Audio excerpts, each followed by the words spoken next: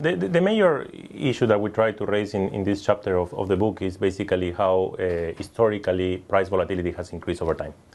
Uh, what we show there is that between January 2001 and December 2006, there were in average per year around 26 events of uh, extreme price volatility, which means to us is a high frequency of periods in which the returns are extremely high, abnormal, 5% uh, of probability of them happening.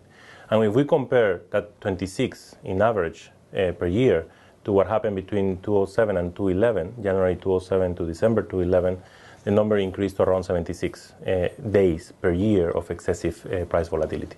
And that's a significant change in difference to the price levels, which although they increased and there were spikes, uh, they were not historically high.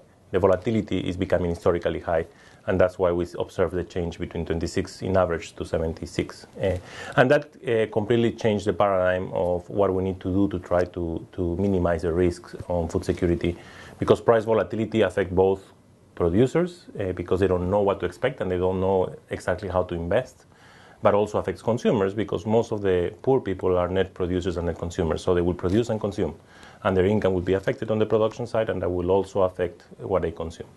And as a result of that, uh, many policies were trying to be brought up in the G20 meetings of the Paris G20. Uh, the problem of many of them is that they, they could create more distortions in the market.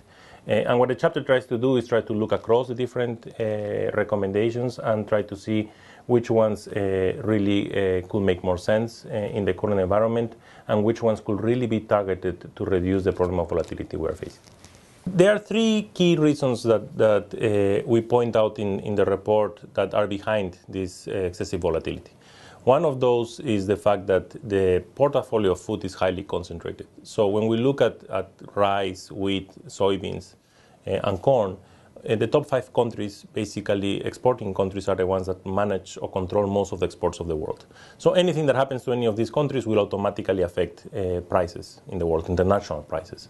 So one of the key challenges is how we find ways in which we can increase this portfolio, diversify this portfolio, so that we have more exporting countries around the world, so that we are not uh, restrictive in the sense that if something in, happens in one of these countries, the global prices will be affected. And that is one of the focus of the G20 in Mexico that is happening this year, is to try to find ways to increase uh, productivity, agricultural productivity, but in a sustainable way, and also targeting smallholders. And it's also a focus of, of the Business 20, which is the B20 group that is being uh, going to meet in, in Mexico this year. So that's one core challenge and one of the structural causes behind that I think requires investment in agriculture and requires creating a, a, an increase in, in, yields, but in a sustainable way. The second element, which is important, is the low level of stocks that we have. Uh, the global stocks uh, were in, a, in, in, one of the lowest levels. The stock to use ratio is in historical low levels. And that, of course, is always correlated with spikes and, and volatility. So, one option is to try to figure out which are the appropriate policies to be able to resolve this problem. We know that country level stocks won't resolve the problem. Uh, they will especially could have certain several biases, and there are several studies that have looked at that, especially if they are used as buffer stocks. So clearly, that's not the option to go, uh, and we need to carefully assess that and avoid countries to take policies that we know in the past have not worked. Now, using minimum stocks uh, to link them to the safety nets of the country, that's an option where we can move forward because basically that will help to secure the access of food in the, in the periods of a crisis. Now, the options that are being elaborated and that are being tested, one is that came from the Paris G20, is a regional reserve to be tested in ECOWAS in West Africa.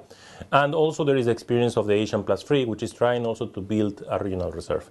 The key points behind those uh, and the key challenges is how to identify the optimal trigger and how to minimize the cost of handling those reserves and the political economy, of course, of coordinating the delivery of the process and linking it to the safety nets to avoid uh, problems of uh, um, uh, interventions in the market that could distort markets. So trigger and linking to safety nets is crucial, and both of them have that behind. And that's also something that countries can learn. But, but it's, it's, it's, a challenge that we need to be very careful uh, uh, to analyze previous history and what has happened in the past uh, with this type of policies. And the third component is linked to, to, to the biofuel market uh, and how uh, we can start moving to a scenario or in which we can move into more flexible mandates, but smart flexible mandates in the sense that they are related to periods of excessive volatility. So whenever we are facing a period of extreme uh, volatility, then it makes sense that a flexible mandate activates because countries which are key exporters won't substitute the use of grains towards biofuel instead of food. So that will help to resolve the problem that we are facing today in terms of the significant increase in the share of, of consumption of corn uh, for biofuels, especially in the US and, uh, and Europe. So assessing and trying to understand better how good uh, mechanisms of flexible mandates can be implemented is another challenge that, that, we need to look at it. So those are the two. And then, of course, uh, the third component is, is to follow up the recommendations that came in the action plan of the G20 in Paris. And that's one of the roles of the G20 in Mexico is to see what has been done uh, and what has worked, what has not, and also to start to, to push forward to more medium and long-term actions towards productivity in a sustainable way. I, I hope the, the, the idea and the impact of the report is to make people aware of the problems that we are facing and the concerns, and that uh, although today we are facing more stable prices and we are not observing the spikes we observed in the last uh, years, uh, clearly the problem is not resolved and it's something that we need to take very seriously uh, and it's something that uh, it's important that uh, people and policymakers realize of, of, of, the importance of this issue and, and it's not a short-term issue. Uh, the structural problems have not been resolved and there is a lot of work to be done to try to do this. So it's, a, it's, an, it's an issue that needs to be taken very seriously over time, and it's not uh, because the prices are stable today doesn't mean that this couldn't happen tomorrow.